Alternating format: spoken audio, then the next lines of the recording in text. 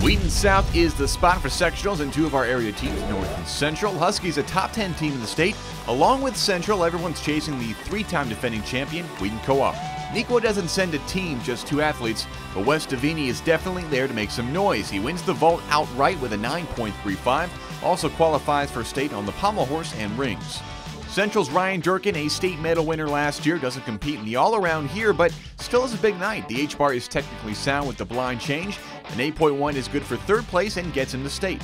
Teammate Carl Junquist punches his ticket to Hinsdale Central on the floor. Fifth place with an 8.7, he finishes seventh in the all around. But back to Durkin, not just a one trick pony, a giant dislocate back half closes his rings routine.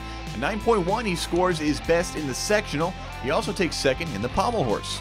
North doesn't have the star power, but rather competes with its all around depth. Here's Brandon Louise on the floor, part of his fifth place all around score of 47.5. He awaits an at large announcement for state. More depth from North is the key. Miko Matz drops an 8.7 on the high bar. That's good for fifth. Then there's the rings and the Husky duo of Jacob Deerlin and Udaya Kabi. The former is fifth in the event, the latter is fourth, both scoring in the mid eights. North finishes second as a team. As expected, the Wheaton Co-op takes top billing, headlined by its one-two punch of Ben Sott and Lucas Cooperman. Cooperman is fourth in the pommel horse, and Sott dominates on the P-bars. That's one of three events he wins. Sott wins the all-around, and the Co-op takes first place.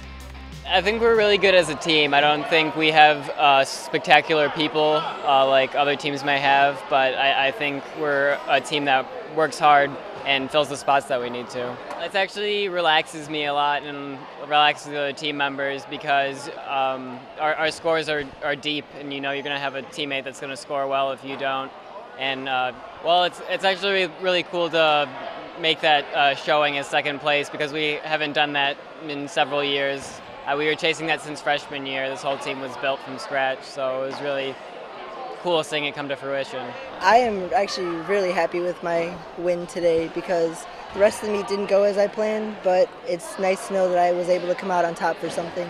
Right before our event, Coach Reimers takes us out into the hallway and he gives us this great speech about um, what we need to do and how to focus to, on our event, and it just pumps us up and we get into a great mood and we're just ready for the event at that point.